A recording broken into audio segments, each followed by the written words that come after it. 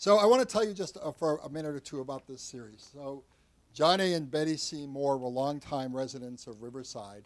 Uh, Dr. John and Dr. Betty C. Moore, both gifted scientists, but and long long time history here. Of course, the series is named after them. Their biggest gift, I think, to the Riverside community was this. In fact, this lecture series.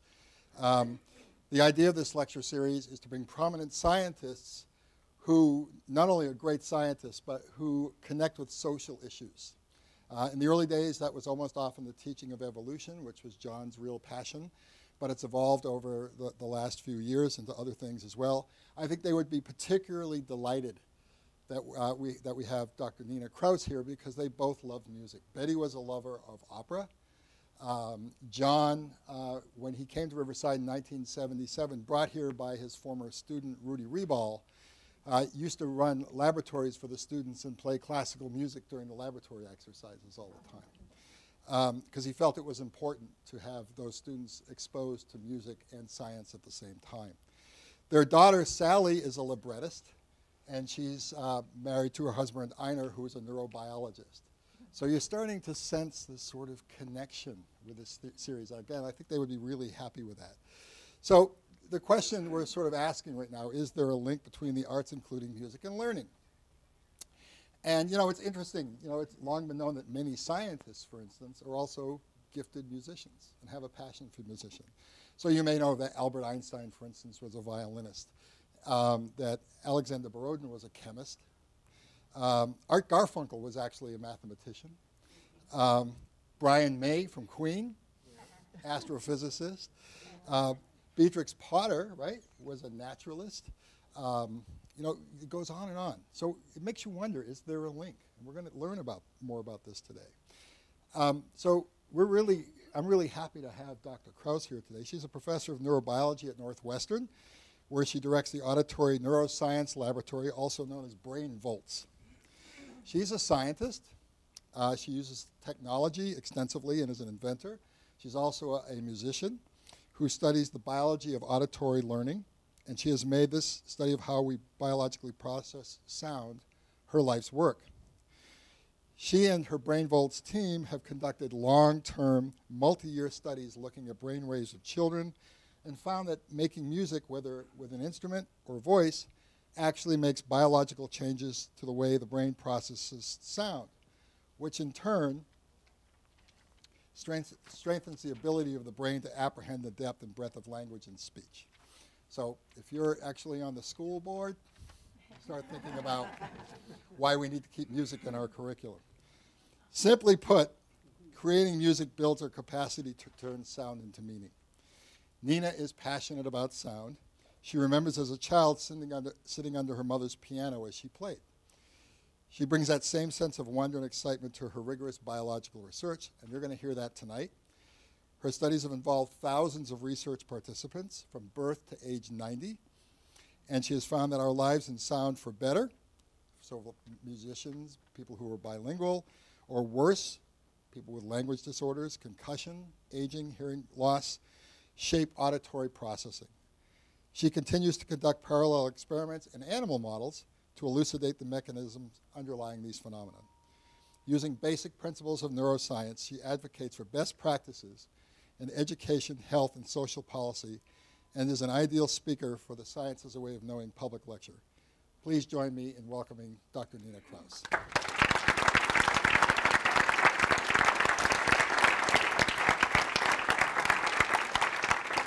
Thank you, Rich.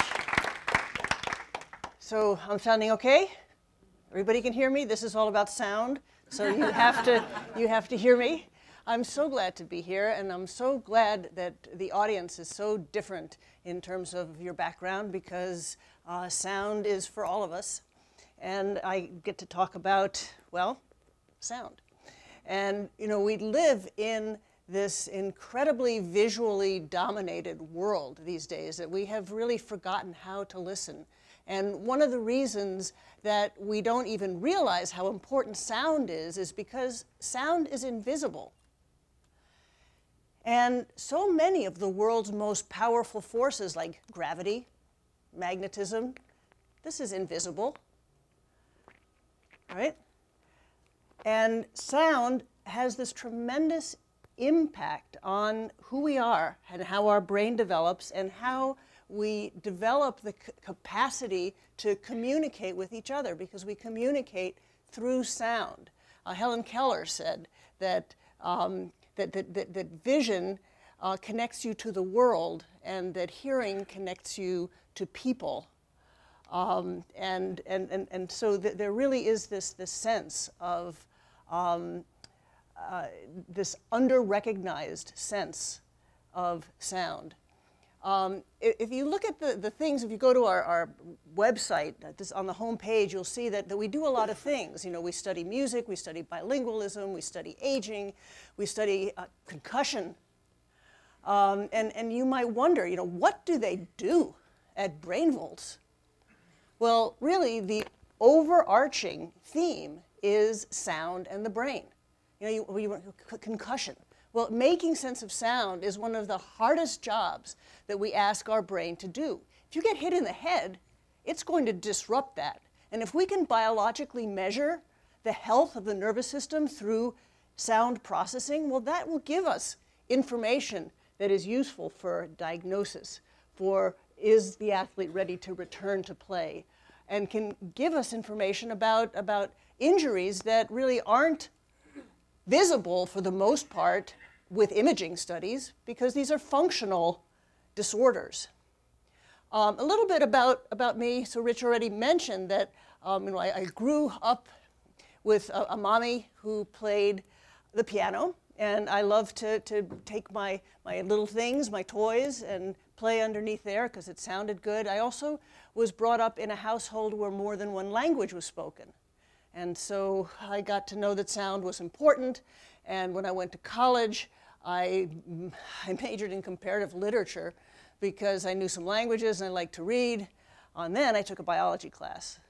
And I was introduced to a book that was called The Biological Bases of Biological Foundations of Language. I actually now, for 20 years, I've been teaching a class called Biological Foundations of Speech and Music. And I thought, oh, this is really interesting. Um, and so here's my mommy. Um, and, and, you know, and I started out recording from, uh, from the chinchilla auditory nerve and measuring something called two-tone suppression. And uh, La Mama, she was saying to me, Nina, you know, what, what are you doing?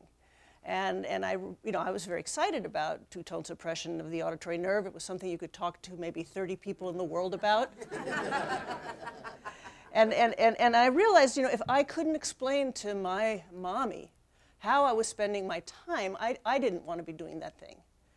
And so uh, all of, of, of our work really has been rooted in, well, you know, how can the work have importance for, uh, for society and for ourselves personally and for medicine. Um, so, you know, I, I moved from the auditory nerve of the chinchilla to bunny rabbits and was recording from single neurons in uh, the, the auditory cortex of the bunny rabbit.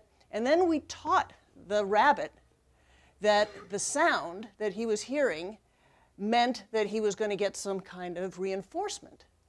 And so with the sound didn't change, same sound, recording from neurons, and I could hear them going because you know neurons, the currency of the neurons is electricity, and we can listen to it. And once the animal learned that that sound had meaning, the neural activity changed.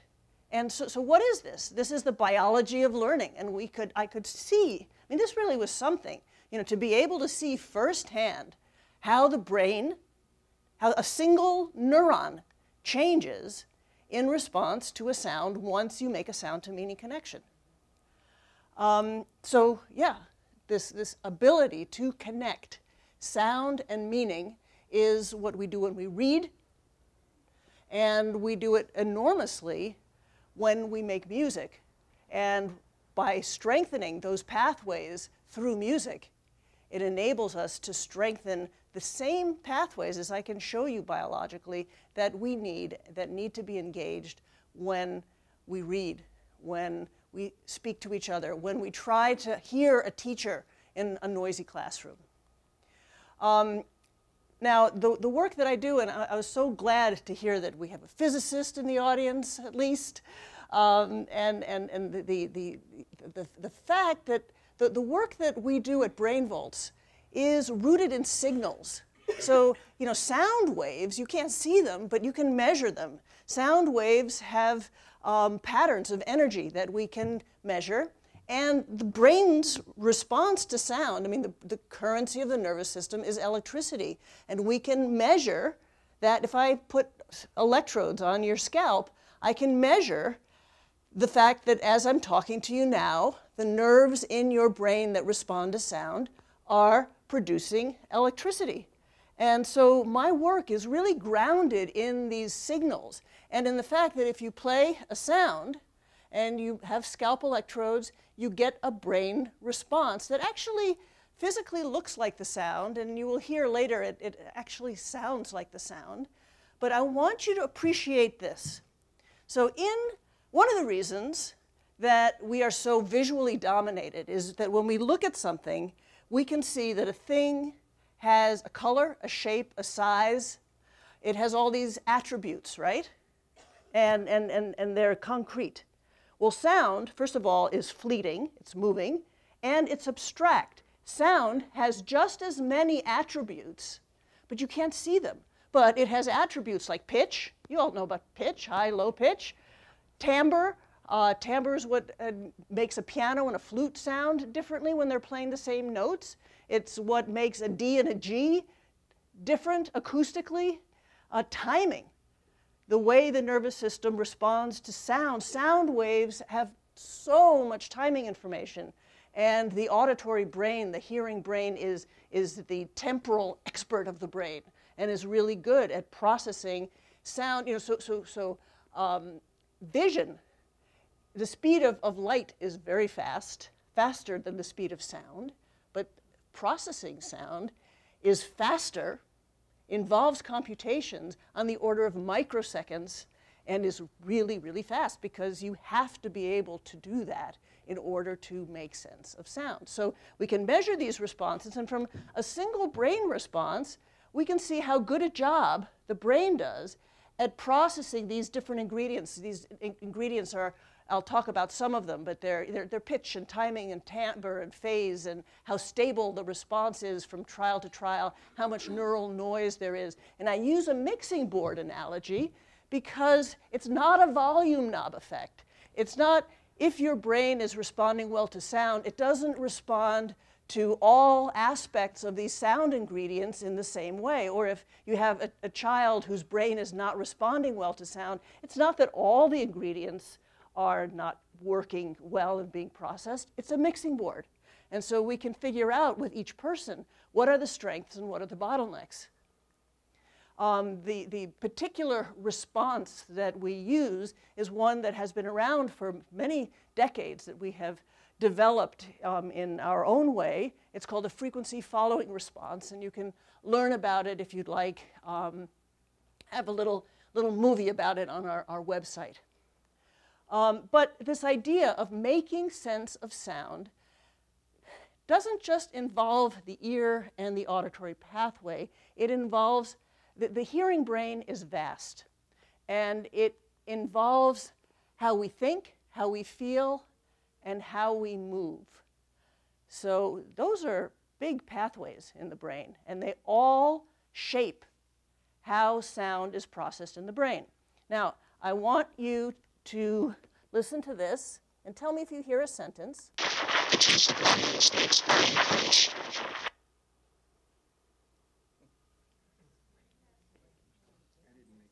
All right, so now I want you to listen to this. The juice of lemons makes fine punch. Okay, now I'm going to play the first sentence again.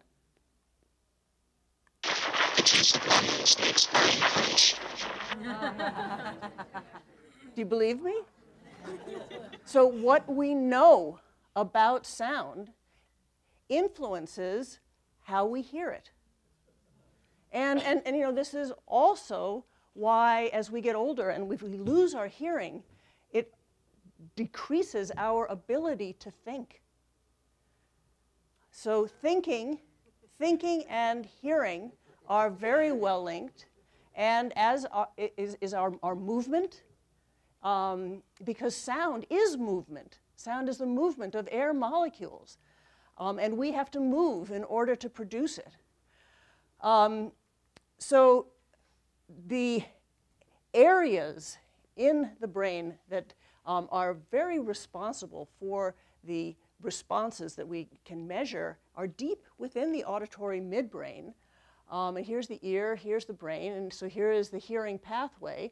But I want you to see all of these other connections that connect, um, well, our cognitive and sensory, motor, and reward systems. This is all connected. It's all connected to our hearing brain. Hearing is so understated and underrecognized. What I'm telling you here are these, these, these unappreciated generally and un, untold, but now I'm telling you, truths about the importance of sound from a biological perspective. So, um, as I said before, hearing the hearing brain involves our sensory, cognitive, motor, and reward systems. And music, music is just the jackpot in involving these systems, right? So I want to give you a couple of examples. Um, so with cognitive, when we think, well, so what are some cognitive tasks? Well, some basic cognitive tasks are attention. How well do you pay attention to sounds? How well do you ignore sounds that aren't important? Um, auditory working memory. We'll talk about that. Um, okay, so here's a test. I need you when you're going to hear a, a, a, beeping sound, and when it's on, I want you to raise your hand. Um, when it turns off, I want you to put your hand down. And um, when you hear the sound of a siren, that's noise. And I don't want you to move, and I don't even want you to flinch. Okay? Ready?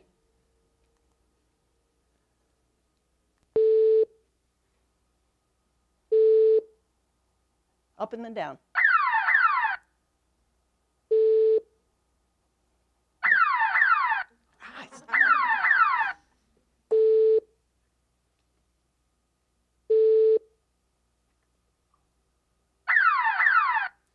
Wow, you guys are good.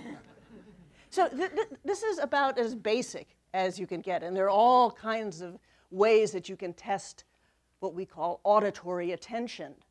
But what essentially it boils down to is being able to pay attention to the thing that you need to pay attention to, the teacher, the teacher's voice, um, the, the, the, the, tuba that's playing.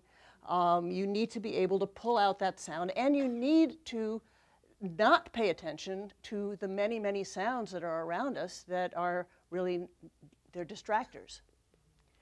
Um, so we know that musicians, and when I talk about musicians, I'll be talking about musicians. When I talk about musicians, I'm not talking about professional musicians at all. I'm talking about hack musicians like me, um, people who just regularly play a musical instrument because they like it, and they're not as, they don't need to be especially good. Um, they just, you just need to be playing music regularly. Um, and we know that musicians across the lifespan, defined this way, are better, they do better on these attention tasks, on these auditory attention tasks. Well, you can imagine that being able to pay attention to sound and to ignore irrelevant sounds might be important for learning anything and the other is auditory working memory. So auditory working memory is, in order for you to make sense of what I am saying right now, you need to remember what I just said. That's your auditory working memory. Right? Auditory working memory is really, really important for understanding what's going on. And um, as a musician, you are constantly working on that and strengthening that. I mean, a way that, that we test it in the lab, like I might give you a string of words and say, okay, here are a bunch of words. Now I want you to tell me which one of those words was the name of an animal that begins with the letter B. And so you have to think, well, which one, what were the words? Which ones were animals? Which ones start with B? So you're working your memory. Your auditory working memory is really important for learning. As a musician, you're always trying to keep in mind the sounds that you're wanting to play as you resolve the physical complexities of playing. And, and um, I like to show, um, this is an embarrassing example of me learning a Chuck Berry lick, where, um, you know, I'm, I'm, you listen to Chuck, it's obvious when he's playing, and then I try to keep it in my working memory, and then I'll try to play it, and then I'll forget, and I'll have to listen to Chuck again, and we go back and forth. But this is a way that someone who makes music is working their working memory.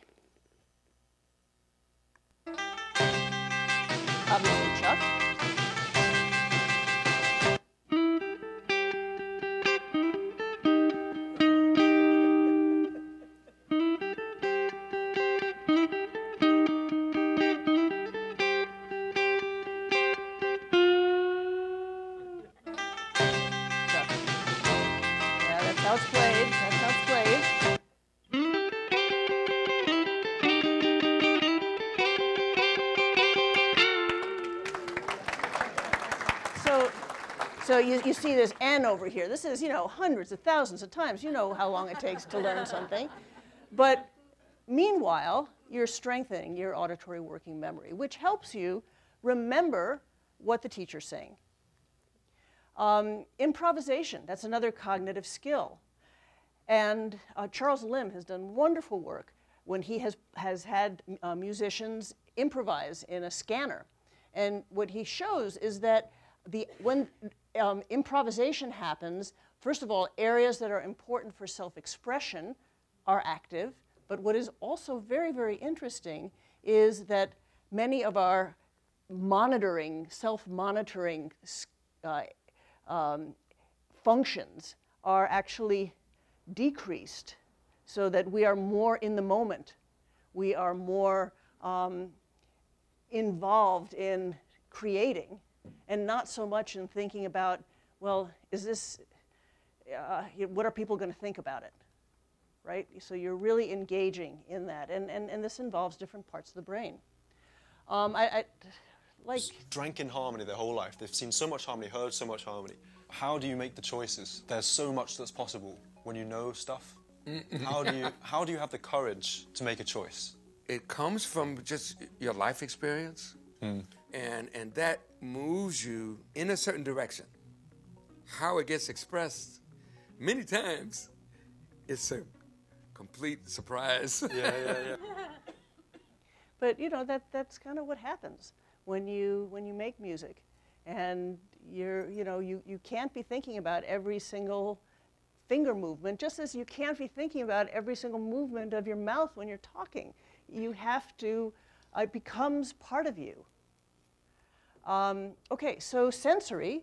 Um, I think probably one of the most important messages that I want to get across today is that making music making music changes the way your brain automatically responds to sound.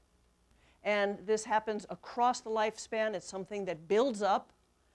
And this has many consequences for life and for learning. And we really know this. It's our signals. It's the signals that ground me and the biology, the fact that I can really see that the making of music changes the way a person automatically processes sound. So, um, auditory visual processing is important too because you're now combining the senses. Um, one of the first studies that we did, we wanted to see whether um, musicians auditory visual processing was stronger than in non-musicians. So what we did is we had um, musicians listening to a cello, just the sound, and then we had um, the musicians also watching somebody playing the cello.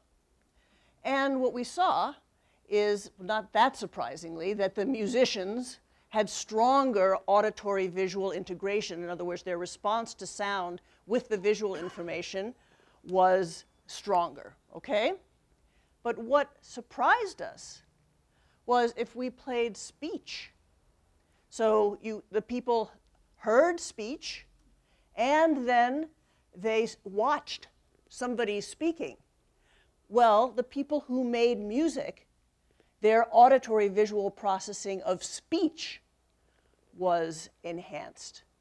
Okay? So this auditory, and this is why, you know, everybody works so hard to get this room set up in a way that, that makes sense to me, because when we try to communicate, you need to be able to see and you need to be able to hear what a speaker is saying. And, and scientists are so bad at this. I mean, they usually put us in the dark, and people are just looking at a screen over to the side, and you know the speaker is behind a podium. And if you're little, kind of like me, you know, you, and I came all the way from Chicago. I, you know, you you want people to be able, and, and I need to be able to see you and to see how you're reacting to what I'm saying. And, and scientists just, they just don't do this, but auditory visual processing is very, very important for communication. And if you make music, and, and I notice I'm saying make music, because people, a lot of people say to me, oh yeah, I love music, I listen to music all the time.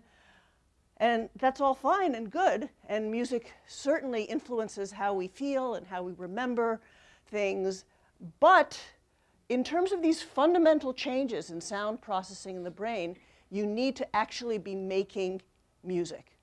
And it's a really good investment in your life to be making that music. And I, you know, I like to say you're not going to get physically fit watching sports. okay, so then, um, you know, what did I say? Cognitive, sensory, motor, reward. Okay, we did cognitive, we did some sensory. Let's do some motor.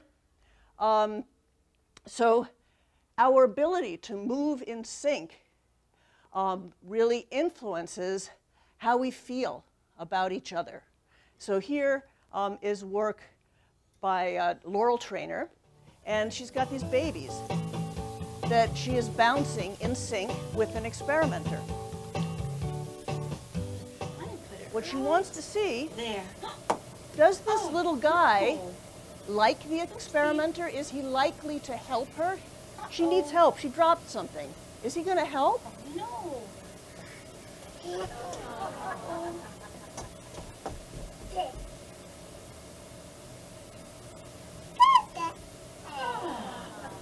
There.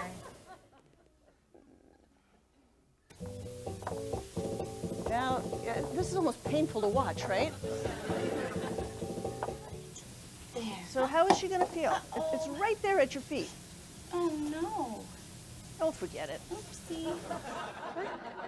So, so you know, moving together in synchrony to sound is so important for how we engage with each other. And you know, it, it- if we could get our, our, our leaders of state to to move together, you know, maybe we could we could come to some agreements. Um, but so this auditory motor integration is something that is very much a part of music. This is uh, motion capture of a violin bow, and you know you hear it. Look at that tremendously fine motor movement that is going on. Yeah. Um, but you know, my question as a biologist is what is going on in the brain? And what is going on in the brain is that if you just listen to music, if you, especially if you are someone who makes music, if you're only listening to music, yes, your auditory cortex is active, not a big surprise. Your motor cortex is also active. Your motor cortex is active when you're just listening to the music, especially if it's music that you know and that you have played. Take it a step further, th- this is Robert Zatorre's work. If you know how to play a musical piece, and now I tell you, just close your eyes or keep them open, I don't care, and, and, and imagine playing that piece. So if I am imaging your brain, I can see that the motor areas of your brain are active as if, and you're not moving, you're just sitting in your chair, but your motor areas are active. So, you know, we can see biologically that there is tremendous auditory motor synchronization. um, rhythm and language are so connected. I mean, rhythm, everybody knows, yeah, rhythm is part of music, but it's a huge part of language, as this video will demonstrate. You're a cheat and a swindler. That's what you are. How can you do a thing like this? Build up a little boy's hopes and then smash all his dreams to pieces. You're an inhuman monster. I said good day. So, so rhythm is a huge part of, of, of, of, of speech and language. Um, and this is something I got to do this next uh, little clip um, at the Kennedy Center with Zakir Hussain, who is just an amazing drummer. Um, and so he did this.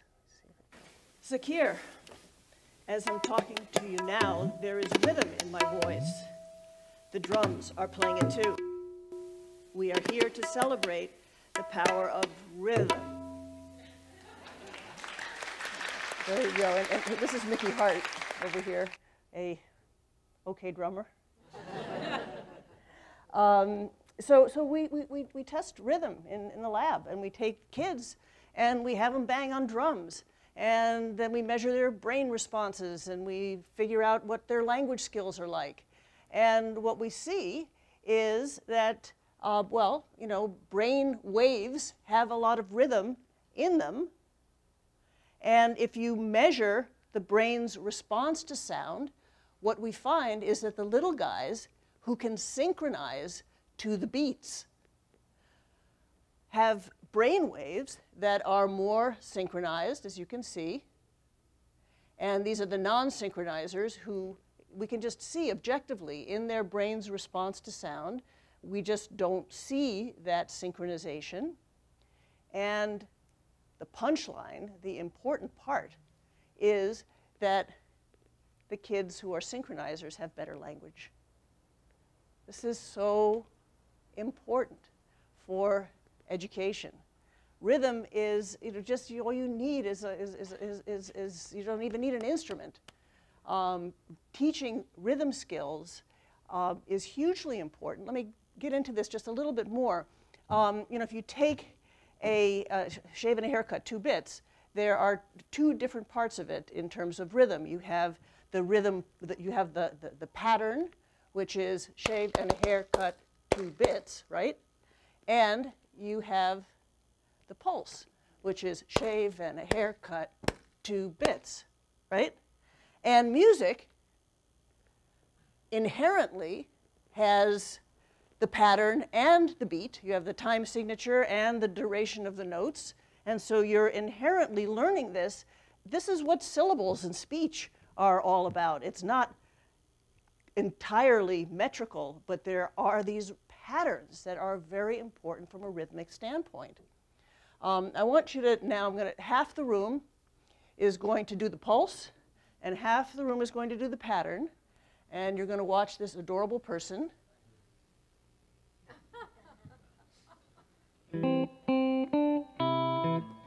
Clap.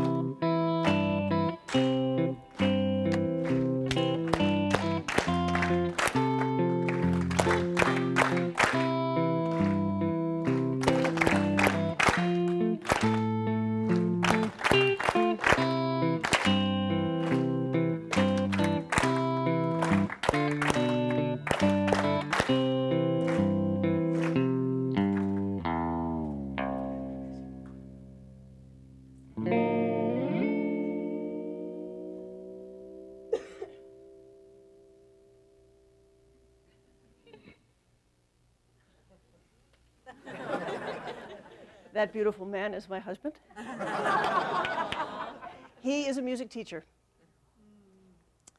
Um, importantly, so we ask what is going on in the brain. Um, this pulse and rhythm pattern, um, the pulse, the ability to keep this pulse part of music is tied to the brain's, the auditory brain's processing of very, very fast rhythms.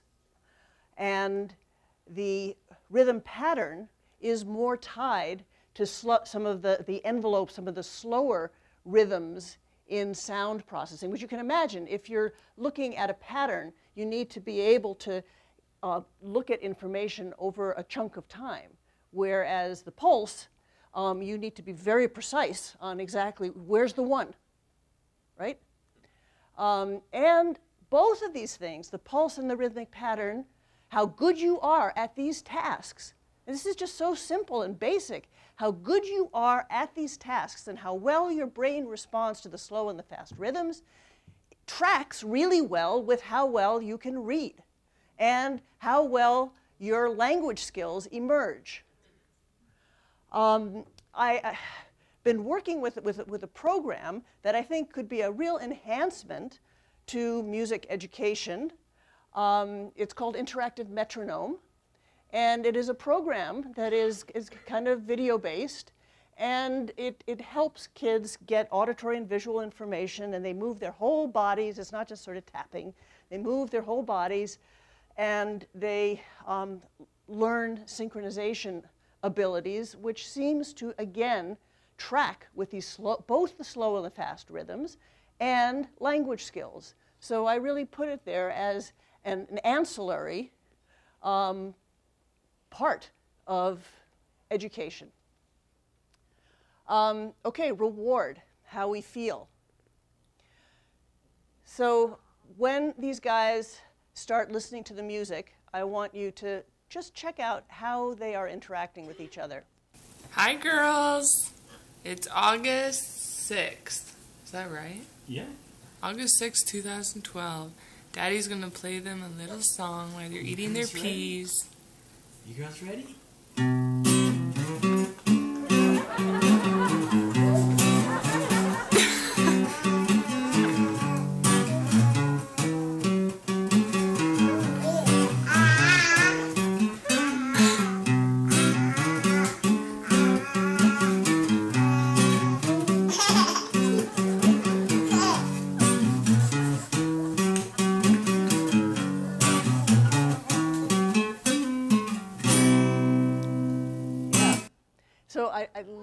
Showing this because I watch the audience, you know, you guys, like, look at the person next to you.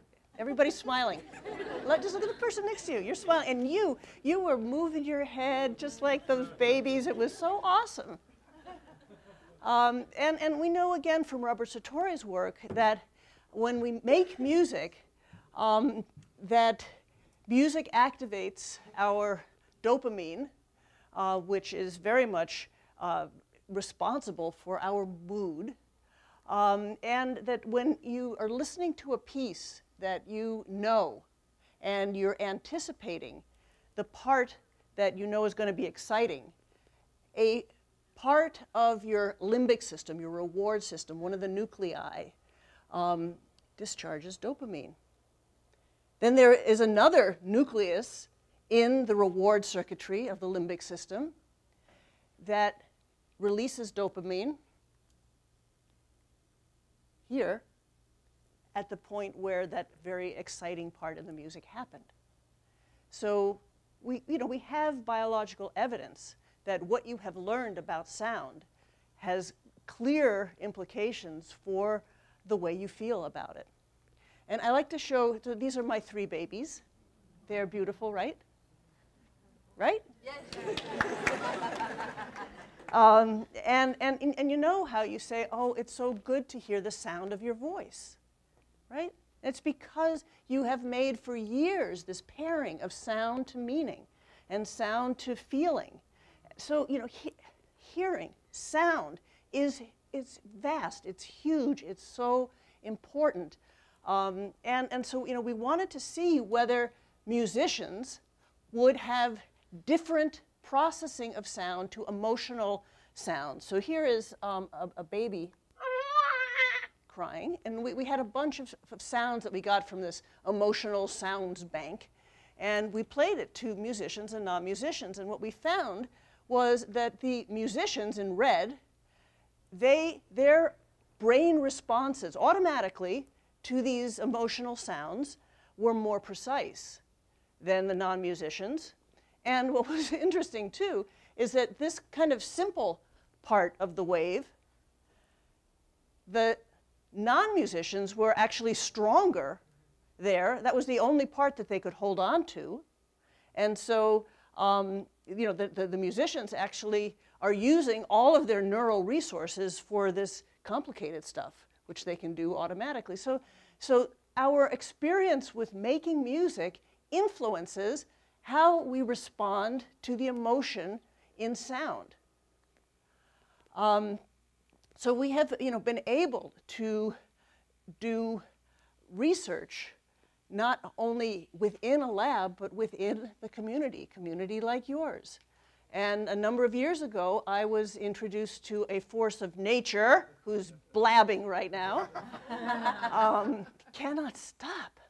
Um, and, and so Margaret Martin um, and, uh, and Kate Johnston, who was her, her musical director counterpart in the Chicago Public Schools, I was interested in knowing, um, you know, in real school programs, like not in, in a laboratory, in real school programs that work, what is the biological impact of making music? And all of the teachers, I mean, I can't tell you how many times I have teachers telling me the kids who play music are the better students. We know this. Why can't, you know, why doesn't everybody understand this? This is so obvious. Um, and people like Margaret have come to me and, and, and they said, well, you know, I know this already. She knew this. Um, but what is going on in their brain? And so we embarked on some studies to try to figure out what was going on in the brain.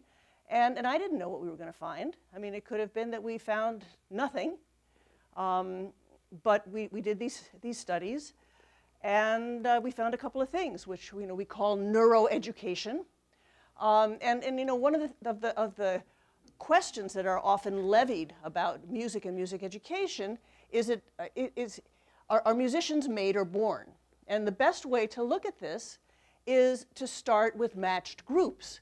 And so the Harmony Project, and also in our Sh Chicago Public Schools, um, you know, music education is expensive, and there are kids who are equally motivated, who are on the waiting list, um, and so we could give music to one group and have another group wait a year, um, but we could match them in terms of they, you know, they started out same age, same IQ, same reading scores, and to see, okay, we give one group music, and we also um, like in our Chicago Public School study, we give the other kids another form of enrichment activity.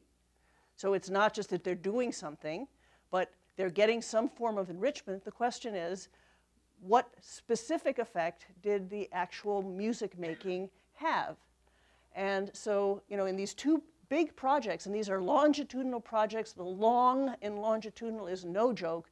These are really hard projects that involve so much infrastructure and carting people and equipment across the country and, and having families, I mean, the families to bring their kids and to have them engage in these projects to get a t shirt at the end. Um, you know, so this was at, at, the Harmony Project and in Chicago Public Schools. Um, and, and we measured sound processing in the brain, and, and, and what did we find? And these are some of the, of the kids, you know, getting their brain waves tested. It's, it's kind of awesome because they, they just kind of hang out, they can watch a movie, they can do whatever. And we can measure, we play sounds to their, eh, you know, they have earbuds, they're hearing these sounds. And if I do this to you right now, what I am interested in, what I am able to measure is what have you become right now, today, based on your life in sound? How does your brain respond to sound? And there's nothing you can do to game it. You know, for example, in the work that we're doing with athletes, a lot of the athletes often want to return to play very quickly, and so they'll try to sandbag tests that they can, but they can't do anything on, with these kinds of tests. Um, this, your brain will simply respond based on your experience, the sound to meaning connections you have made. So one of the things that we learned is in looking at reading scores, you are all familiar with the achievement gap that gets bigger um, from year to year, especially in underserved populations. And the kids who played music um, didn't show that drop in reading scores. So we thought that was important. Um, and we also found that um, music the music in these kids strengthened ingredients of sound processing in the brain, especially the processing of timbre, the harmonics, timing, um, and the ability, this is the same kind of activity that happens in the brain um, that is important for distinguishing one speech sound from another speech sound. And so we were able to see that in the kids who played music, there was this sharpening of the brain's automatic ability to distinguish speech and the important, meaningful components of speech. We measured this automatically. And uh, we didn't see this in the kids who did not have music. Um, so they improved in language skills, their ability to hear speech and noise got better, their brain development was speeded. Um, we also know that childhood music, this is an experience that lasts. And even many years after kids stop playing music, the aging brain will profit. Um, and importantly, this musician signature, which I, you know, I, I, am really looking at timing and timbre. This is the same signature that we need for reading. I mean, that to me, again, we can measure these responses. We can see that the music brain is stronger in these particular ingredients. And in other studies that have nothing to do with music, we look at kids with different language abilities and we can see these are exactly the ingredients that are depressed in kids who have reading problems and language delays, and they are strong in kids whose language skills are strong. Um, and, and this idea of underserved populations, um, a, a very big metric of poverty is often maternal education. And, and maternal education often is tied with how much linguistic stimulation a child gets.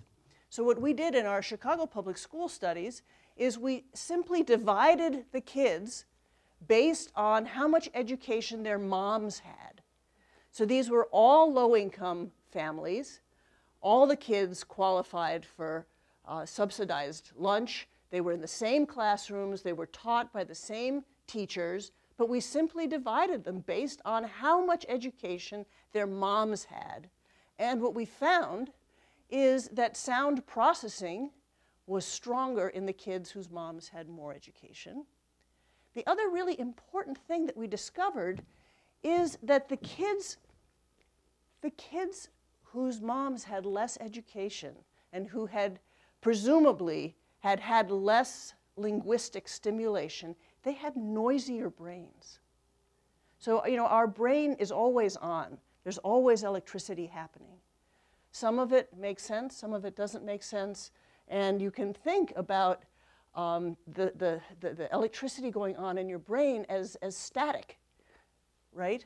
Um, so I, I, like to show this, this, this radio uh, analogy where, you know, you have the, the DJ on, on the one hand um, First of all, his, there's a lot of static going on, and on top of it, the DJ's voice is kind of muffled.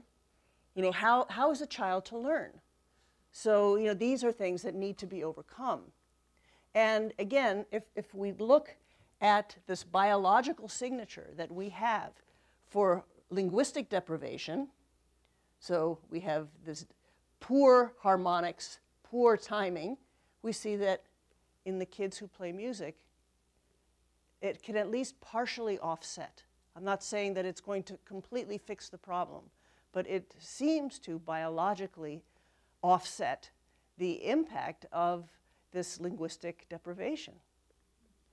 Um, and importantly, I think from an educational standpoint, the two longitudinal pro projects that we did, one was in school, so the music education was delivered by school teachers uh, who were also their certified teachers and their certified music teachers.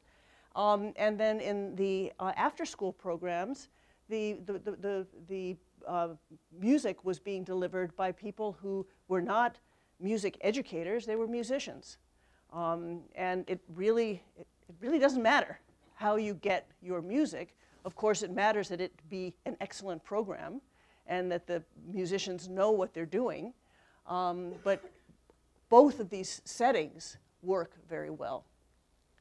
Um, and I, I, want to contrast what we see with our athletes. So uh, we have a big study right now um, funded by the NIH that is looking at, um, we're, we're, especially interested in, in concussion in athletes.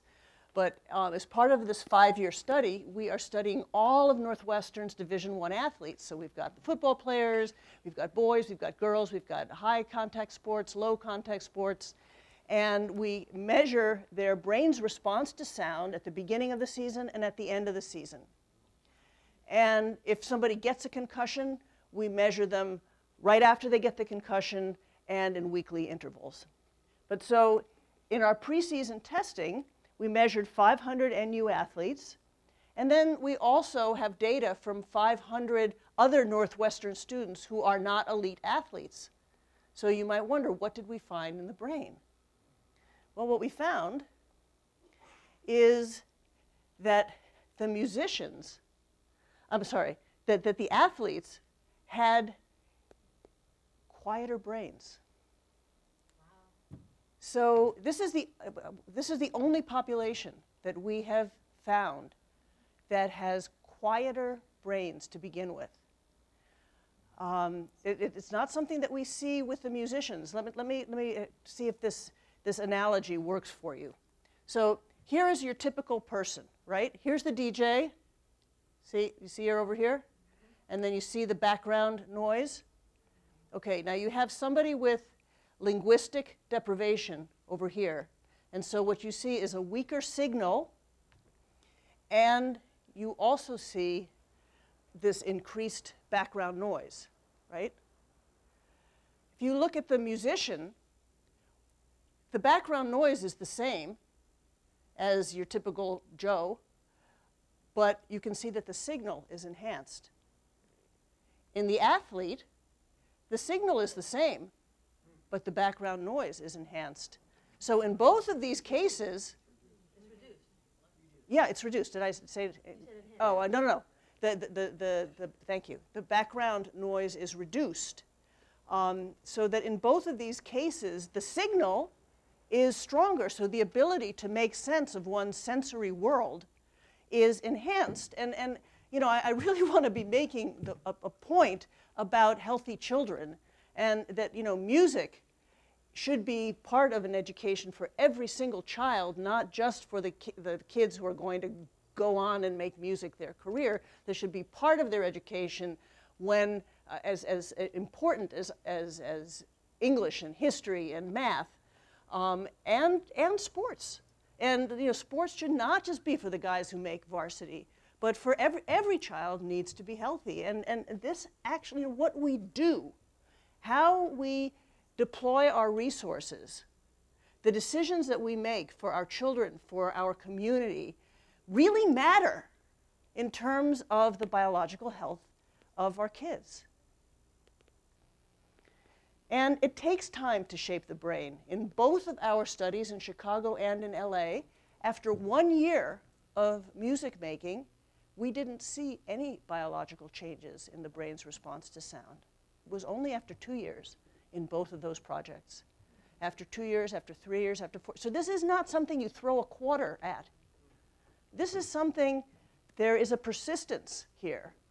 And, and again, our society is so geared these days to, I mean, I, I look at kids' curriculum, their CVs all the time, and they have been all over the place. They've done all kinds of things for five minutes. And, and I could care less. You know, I, give me the kid. Give me the kid who has taken guitar lessons for eight years continuously. That's the kid I want. And that's the kid who's going to do well in science. That's the kid who I want in my lab. Uh, it's, it's the persistence of staying with something.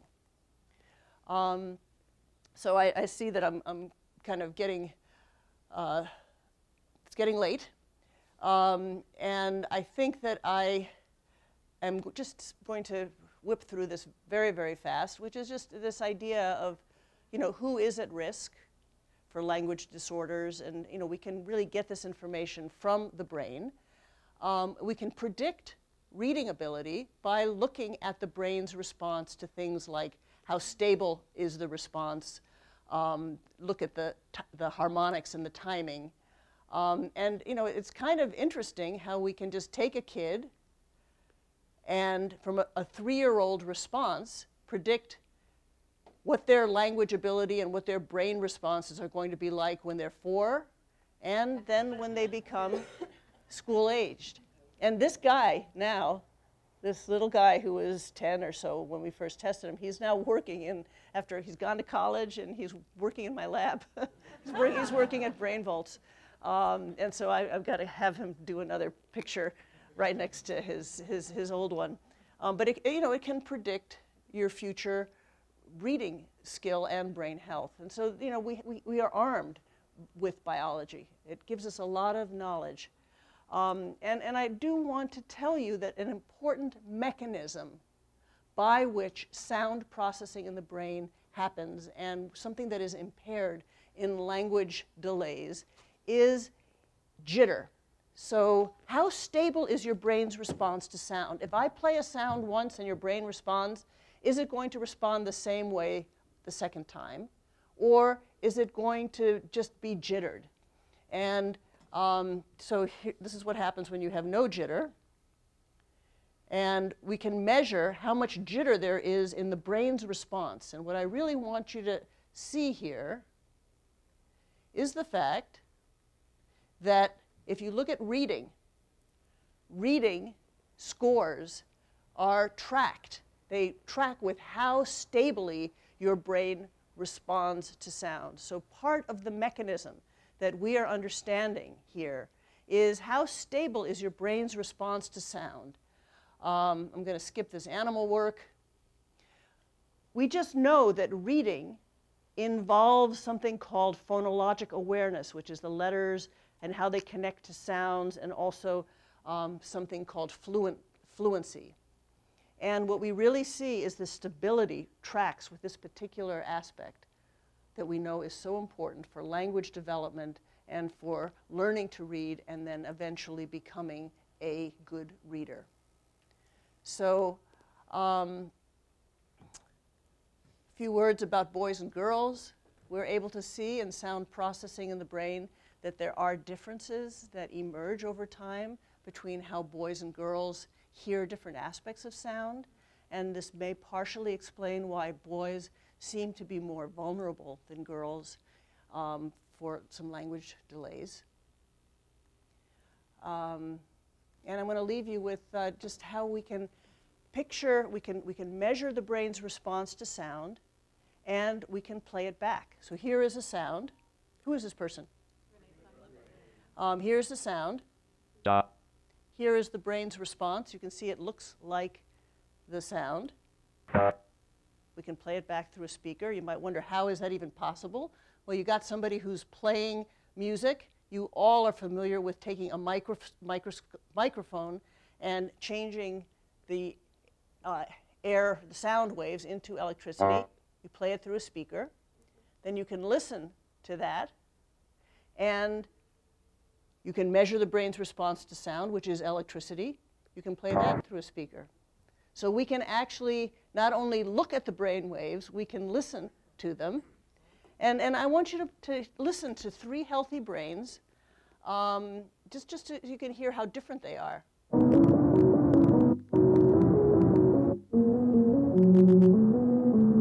That's one brain. This is another one. These are all healthy brains. Here's the third.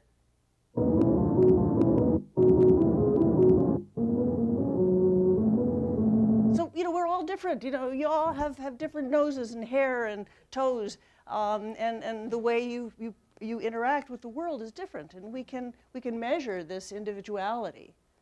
Um, and this is a little clip from, from the Kennedy Center um, that I just, for fun, we'll, we'll, we'll play. So finally, we have science meets art. Here is the brain keyboard. And we have recorded the brain's response to every note on the keyboard. Can you play a couple notes for us? So, this is the brain's response to individual notes. And now you will hear Mark Meadows play the brain.